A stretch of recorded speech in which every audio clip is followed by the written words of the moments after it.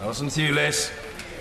Thank you, Mr Speaker. The Interreg North Sea Region prog uh, programme is funded by EU grants totalling €167 million. Euros.